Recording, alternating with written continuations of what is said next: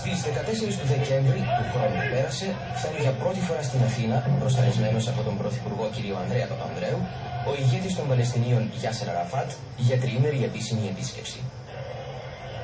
Προσφωνώντας λίγο αργότερα τον Γιάσερ Αραφάτ, ο Πρωθυπουργός κ. Ανδρέας Παπανδρέου είπε «Εσύ, αδερφέ Γιάσερ Αραφάτ, είσαι το σύμβολο του πιο σημαντικού αγώνα της εποχής μας. Είμαστε κοντά σου και κοντά στο λαό της Παλαιστίνης. Μαζί σας θα δώσουμε τη μάχη για τη νίκη και τη δικαίωση και θα παίξουμε όσο μπορούμε το ρόλο της γέφυρας ανάμεσα στον αγώνα σας στη Μέση Ανατολή και στην Ευρώπη. Απαντώντας ο Γιάσερ Αραφάτ είπε «Η συνεργασία μεταξύ Ελλήνων και Αράβων ανοίγει νέους ορίζοντες, οι οποίοι επεκτείνονται στη Μέση Ανατολή, στην Ευρώπη και σε ολόκληρο τον κόσμο. Ευχαριστώ τον ελληνικό λαό που μας συμπαρίσταται στον αγώνα μας.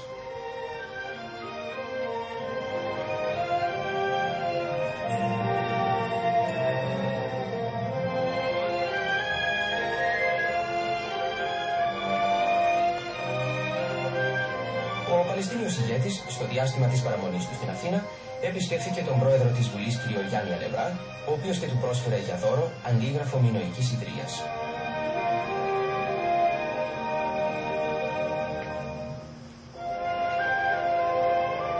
Προτού αναχωρήσει από την Αθήνα, ο Γιάσερ Αραφάτ, σε συνέντευξη τύπου, παρουσία του Υπουργού Δημοσίας Τάξεως κ. Σκουλαρίκη και των Υφυπουργών Εξωτερικών, Εθνικής Αμήνης και Προεδρίας κ.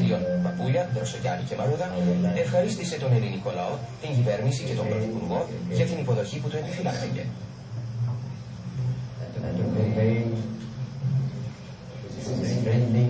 Χαρακτήρισε καρποφόρα τη συνομιλία του με τον κύριο Παπανδρέου και σπουδαίο βήμα που προωθεί τον αγώνα των Παλαιστινίων την προαγωγή σε διπλωματική αντιπροσωπεία του Γραφείου Πληροφοριών της Οργάνωσης για την Απελευθέρωση της Παλαιστίνης στην Αθήνα.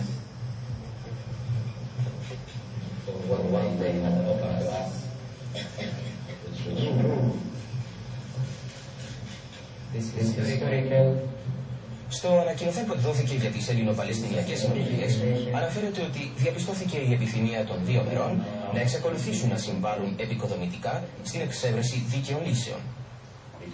Η Παλαιστινιακή πλευρά διατύπωσε την εκτίμησή της για τη συμπαράσταση της ελληνικής κυβέρνησης στον αγώνα των Παλαιστινίων για την αναγνώριση των απαράγραπτων δικαιωμάτων τους, όπως είναι η επιστροφή στην πατρίδα τους, το δικαίωμα της αυτοδιάθεσης και η ίδρυση ανεξάρτητου Παλαιστινιακού κράτους στο έδαφος τους. Ακόμα, τα δύο μέρη καταδίκασαν την Ισραηλινή απόφαση για την προσάρτηση των κατεχόμενων εδαφών του Γκολάντι. Για το Κυπριακό υπογραμμίστηκε η ανάγκη δίκαιης λύσης του με βάση την αποχώρηση των ξενοστρατευμάτων από το νησί.